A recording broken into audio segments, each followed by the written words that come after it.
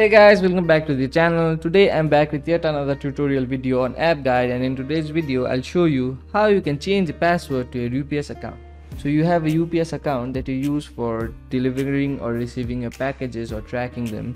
For some reason you feel like your password is not secure enough or there is some other reason you want to change the password because of some security breach but you can't figure out how you can do it watch this video till the end. In today's video that is exactly what i'm going to show you. I'll show you how you can easily change your ups account password in very simple steps. So the first thing you want to do in order to change your ups account password is open your browser and go to ups.com once you go to ups.com make sure you're logged into the account that you want to change the password of.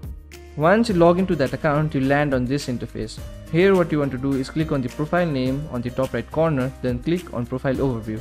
Once you click on profile overview, you land on an interface like this. Here on the left column, you'll see an option labeled as change my password. So to change your UPS account password, choose that option. Once you choose that option, you land on an interface like this. Here you can change the password to your UPS account. But before you do that, you'll have to enter the existing password of your UPS account. So go ahead and do that.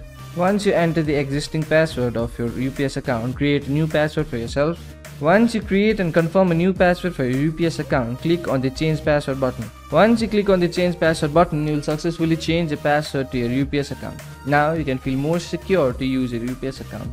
So that will be it for today's video. Hope this video was helpful for you. If it was, hit the like button, subscribe to the channel and I'll see you in the next video with some new information. Goodbye.